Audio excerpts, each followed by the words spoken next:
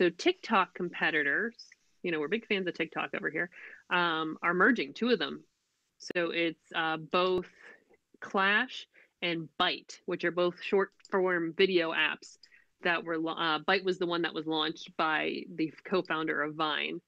Um, but now they are merging to become one super app. So this will be kind of interesting to see if they're able to compete with TikTok, and um, or if we're able to have um, enough pay, enough of uh, attention span to enjoy both.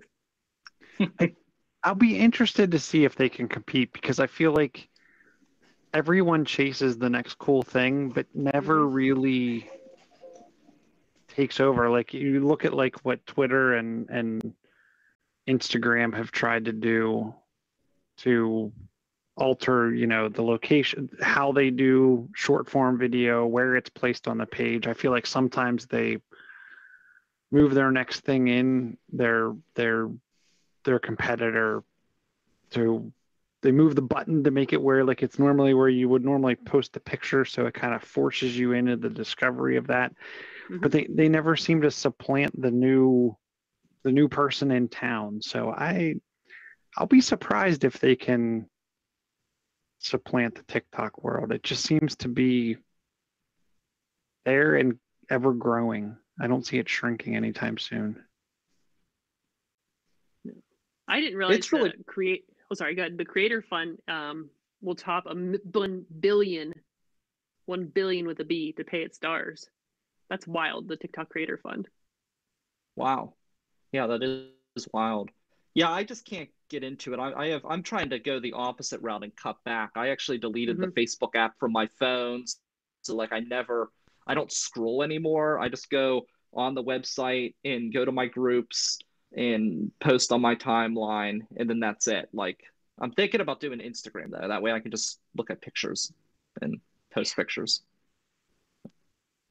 I find i find i lose time in tiktok a lot easier than i do in other apps. And well that is what one, i'm afraid of.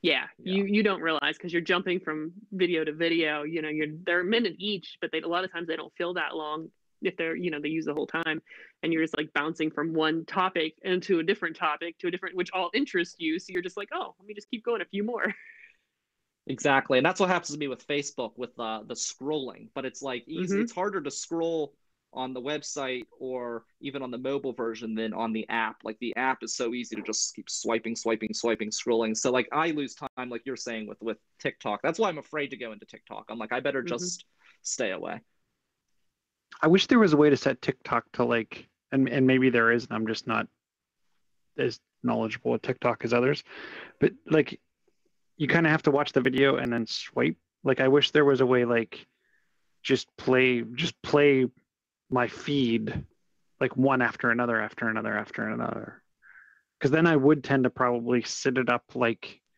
on my oh, desk while yeah. I'm working. Like TikTok, TikTok, you kind of have to swipe to the next video. I wish there was like that a way to like a, a, playlist. Like then YouTube, you it can kind of just play the next video.